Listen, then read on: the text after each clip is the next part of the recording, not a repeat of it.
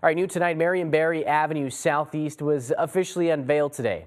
The Saturday ceremony renamed Good Hope Road Southeast in wards 7 and 8 in honor of late Marion Barry's, DC, which is DC's mayor for life, as some called him.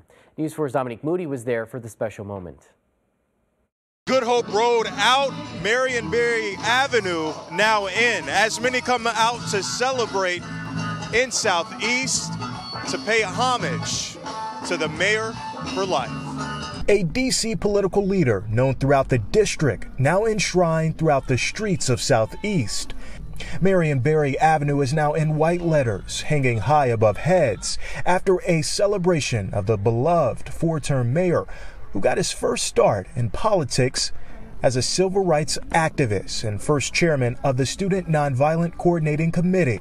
His contributions to the city are vast and he was beloved by many due to his resiliency and dedication to the district up until his death.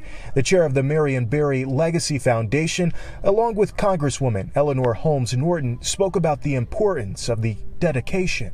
He had used his fine mind and pension for hard work to write his own ticket into the professional class. I can say few mayors have had the impact on their city that Marion Barry had on Washington, D.C.